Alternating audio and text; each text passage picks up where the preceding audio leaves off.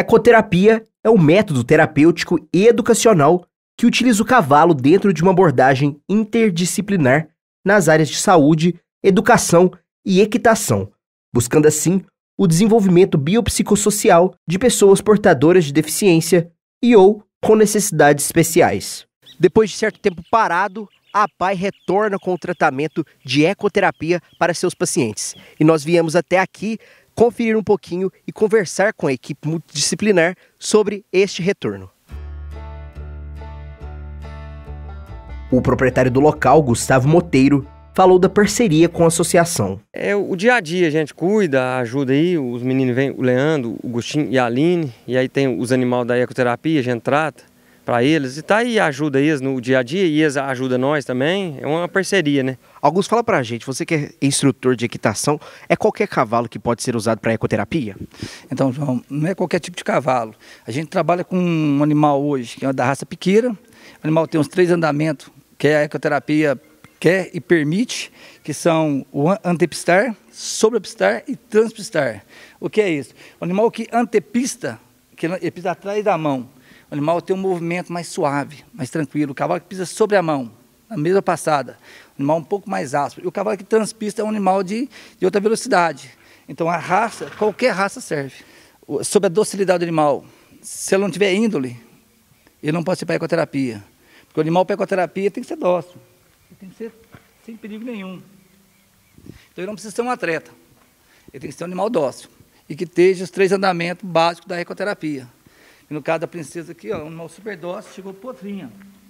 Uma criança pode montar, pode passar por baixo, muito bem adestrada.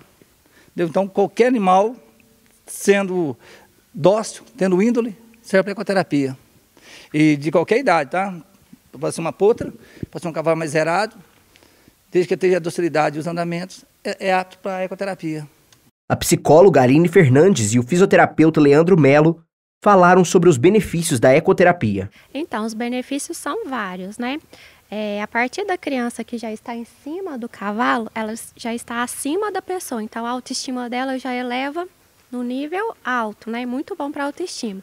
Sem contar que nós trabalhamos a questão do contato visual, memória, atenção, cognição cognitiva, a questão da postura, né? Que o fisioterapeuta explica melhor e o cavalo, quando a criança está em cima do cavalo, o cavalo oferece mais de mil estímulos para o usuário, para o praticante, né? Seja criança, o adolescente, o adulto. Dentre os benefícios que a gente né, tem aqui na ecoterapia, né, a gente tem o, o fortalecimento, né? É, alongamento que a gente faz aqui para melhorar a flexibilidade, né? A gente faz todo um trabalho aqui para evitar contraturas, é, evitar é, deformidades, né? Dentro dos benefícios, a melhora da concentração, melhora da atenção, a melhora da coordenação motora, a melhora do contato visual em, em, em certos casos, por exemplo, o, o autista, né? E as crianças que estão, né, na fase de desenvolvimento neuropsicomotor, né, igual eu falei, o fortalecimento cervical, o fortalecimento de tronco, né, a melhora da, da quantidade e da qualidade da movimentação é, ativa do praticante, né, além da correção postural, refletindo diretamente na postura.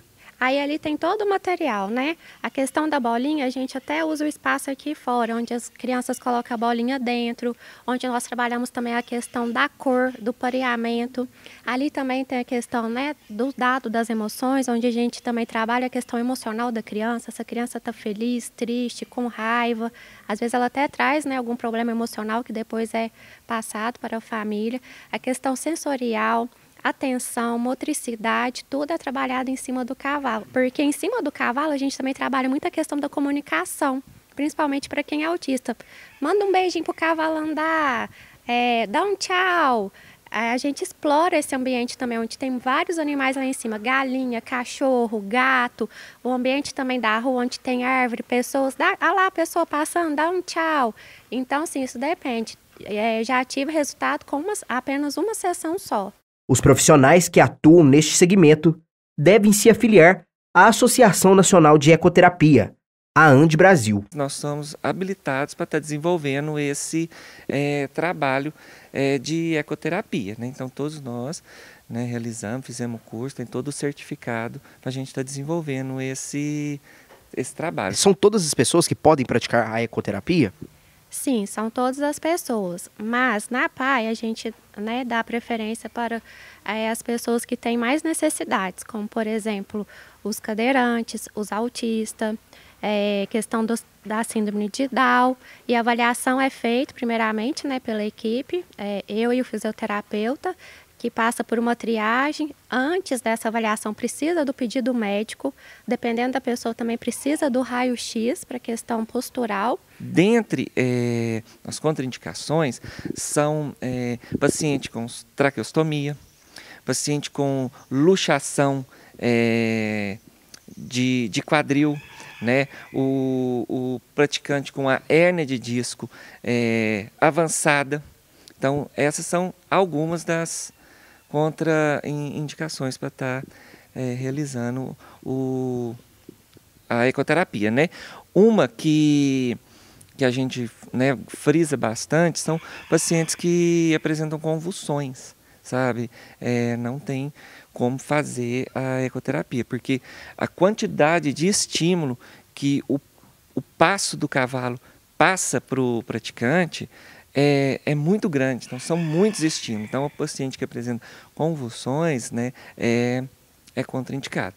Aline, vocês por muitos anos trabalharam, fizeram a ecoterapia lá no Parque de Exposições, mas agora vocês vieram para cá, para essa locação própria de vocês. Me conta um pouquinho sobre. Sim. É, por muitos anos, né, o Centro de Ecoterapia Horácio Soares foi no Parque de Exposição. Porém, é, lá no parque de exposição, em épocas de eventos, de festas, precisava se interromper, né, por toda a programação que o parque já tem nas épocas de julho.